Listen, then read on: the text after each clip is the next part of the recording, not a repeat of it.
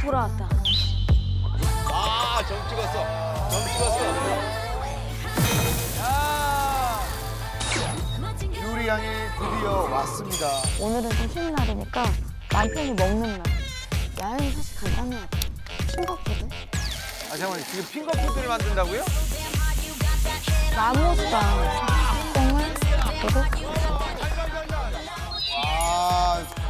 지층이 제대로 나왔네요. 역시나 큰손 유리 씨가 돌아왔습니다. 좀 있다가 아니, 드디어 오기로 해서